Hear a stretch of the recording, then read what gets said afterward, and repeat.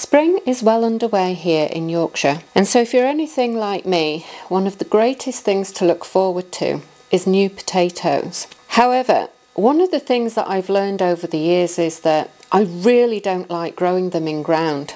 And for quite a number of reasons, one of which is the pesky little pest called a slug. And that's because it rains an awful lot here where I live. And so I end up with a lot of damage on them. Also, because we have a lot of other pests that can get into our soil, as well as quite a few diseases that can also cause issues for us here in the UK. And so what I started doing was I started growing my potatoes in pots. And it made it an awful lot easier for me for a lot of other reasons, including the fact that I've got quite a lot of debilitating illnesses. And so when it comes to harvesting, it's an awful lot easier for me to have my potatoes in pots rather than in the ground because it's an awful lot of work.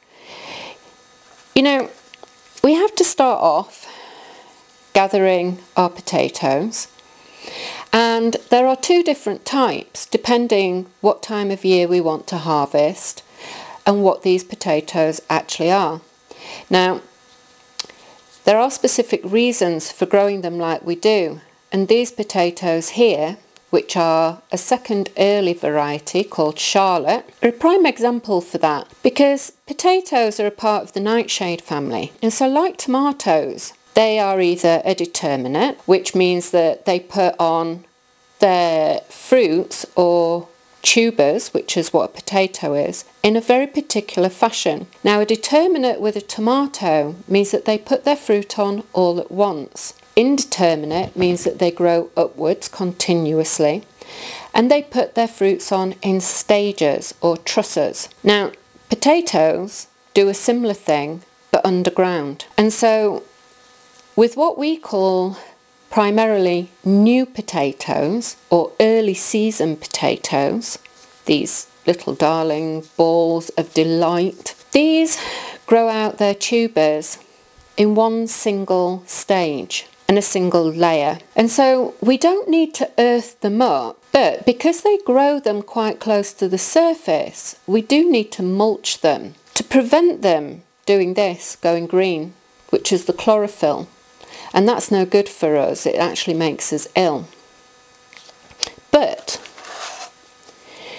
this tiny little thing is actually a Maris piper, and this is what we call a late. These are indeterminates, and so these we bury deeper in a trench, and once they get to the surface, we earth them up. And so the plant has to keep growing upwards and these will form their tubers in multiple layers, thus giving us a bigger crop that takes longer to produce. And usually they would also give us a larger tuber. Now, as you can see, these have all got quite healthy sprouts on them because I've been doing what's commonly called chitting. In fact, this one is even trying to send leaves out. So another question that often gets asked is, can I use store-bought potatoes? Well, these are store-bought potatoes because these have been in my cupboard and I haven't used them specifically for this to show you what to do. And this is another reason why I wouldn't want to put these in ground because store-bought potatoes are not designed for us to actually put them in the ground. They're not seed potatoes that have been chosen to make sure that they're disease free. And here, on this Maris Piper, you can see this blemish. Now that can be a form of what's called common scab, which is caused by fungus that gets into the potato early on in its development which is in the soil. Now, I wouldn't want to put that into my beds because my beds might have it anyway, but what if they don't? Whereas if it's in a container, it doesn't matter. And here again, you can see these blemishes. It doesn't affect the store storability, can't get my words out, storability of the potato as such. They just look ugly. But you're going to peel them anyway, or mostly, you know. You don't have to because a lot of nutrients are in there. But if you've got that, you're not going to want to eat that. And so you're going to end up peeling it. So with these, I'm not, I'm not going to be using that one. I just wanted to use it as an example. So that's a Maris Piper. But the Maris Pipers as indeterminate are my favourite. So with these Charlottes, these are a second early. They take slightly longer than others. But the first earlies, we've got an awful lot to choose from here in the UK. And so when it comes to choosing varieties of our earlies and second earlies, a lot of the favourites here in the UK are Pentland Javelin, Kestrel, Anya, Jersey Royal, which actually, unless it's grown in Jersey, has to be called International Kidney, and then these wonderful Charlottes, which are a waxier type of salad potato, and I really like these. The other thing to take into consideration is if you watched a previous video of mine, you'll have seen me talk about days to maturity. And so the days to maturity on these potatoes are usually 65 to 70 days. But because of how much effort the indeterminate plants have to put in, these are usually about a 90 to 120 days to maturity. And some of our favourites of these are the Maris Piper, the King Edwards, Nicola, and the Rooster, which is a red. There are a lot of others, but I'm not going to waste time going into all of those. But mostly, if it's a potato that you'd use in the winter for mashing, then that's usually an indeterminate. So then, how do we grow these? Well, if you're going to choose a bucket, I usually grow in these 42 litre buckets. My son's just drilled holes in the bottom of them. And I treat these as no dig. And so I'm going to have to go and put my hand down into these, remove some of the compost. And then potatoes are quite greedy. They like a lot of food.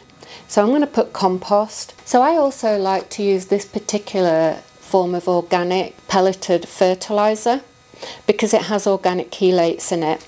And if you use one that's got inorganic chelates, then the problem with that is that uh, some of them lock out calcium. And so when it comes to growing your things like tomatoes and cucurbits, that is a cause of blossom end rot. And so we don't want that in any of our plants. So here I have these pots, which I've had for quite a long time and I've never actually used. And when I came to get them, they've been sat outside. I've got four of them, and they've been sat out there for quite a while. And each one of them was full of water up to the line of this. And if I just tip it over, you can see just how deep these are to where the holes are. So I'm thinking whatever I put in them, I'm going to have to be exceptionally careful because obviously that's going to fill with water and I'm going to have to put something in there, find something that will go in there I have actually got some little stones that I can fill that with, which would make this then exceptionally heavy. But I'm, I'm just using this as an example because I do use the 42 litre buckets, but these are relatively cheap to buy. So I was, I'm just using it as an example. But for these, you'd actually just fill it halfway full. You can put two potatoes in here. If you were doing it in ground, you'd probably give them a little bit more space. But what I'm thinking is, if one of them happens to rot out, then you've got one in there at least, and then cover them. Now, as the potatoes start to form later on, you'll mulch them so that because when they form close to the surface, you don't want them going green, you need to protect them.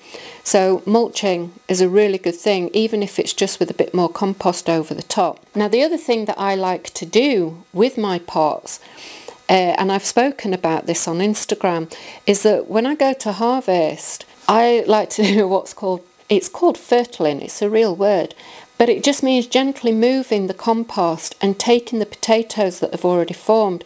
Because sometimes, if you take out the plant all in one go, what you'll realise is, is that there's tiny little nodes on the roots and they're the unformed potatoes, but then the other ones around it are huge. And so you've lost forming potatoes. So I leave them. Some plants will form flowers and then others won't. I take my flowers off. I don't allow the plants to form flowers because that tells the plant that it's done its job, whether it's a determinate or not. So I take them off, and that makes my plants last longer. It's what I've found has worked for me over the years. And then I gently move the compost around, take out the potatoes already as I want them, and leave the rest of them in the pots for as long as possible. Now, the one thing that you do have to watch for is blight because, like tomatoes, potatoes do suffer with blight. And here in the UK, late blight is one thing that's going to come in on the wind. And once it starts, it's something that I particularly have to watch for because I'm in a high blight area. So I'm looking for that all of the time. Early blight is a fungus that's in the soil. And so they're two different things, but late blight comes in on the wind. So once that starts, you want to get your potatoes out of the ground as quickly as possible, same as you want your tomatoes off the plant as quickly as possible and get them protected. Now, what you can do, if you are gardening on a budget and you want to get more and spread them out, say you are putting them in the ground because you've got a lot of space or you've got a lot of buckets, cut these in half now and let them heal and dry over where the cut is. And then, I mean, you could even get three out of this because you can see there's a sprout there, there's one there, and then there's these ones here. And so you can technically get three potatoes out of that, or even more actually, if you're careful. Because the one thing about potatoes is they're very tenacious.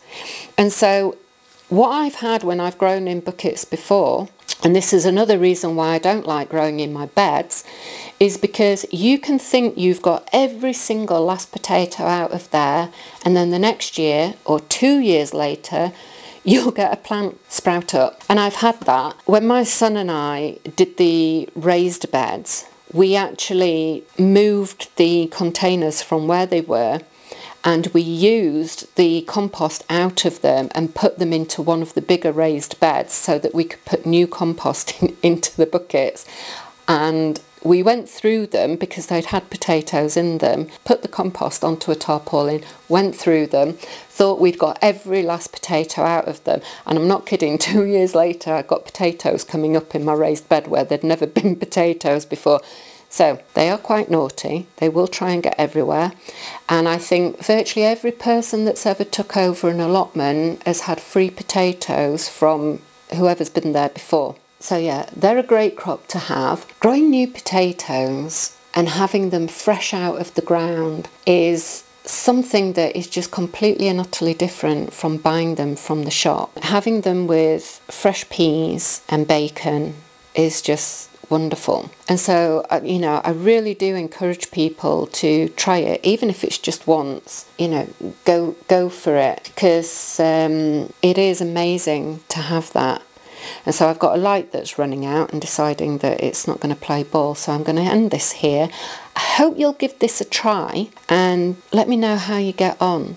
And if you've got a different method that you use, instead of doing them in buckets or in ground, because I've grown them in bags too, and you know, these things are, are wonderful instead of having them taking up space in your beds when you've got limited area. Drop me a comment down below and let me know what you do. Thanks for being here and watching, and I hope to see you next time. Bye for now.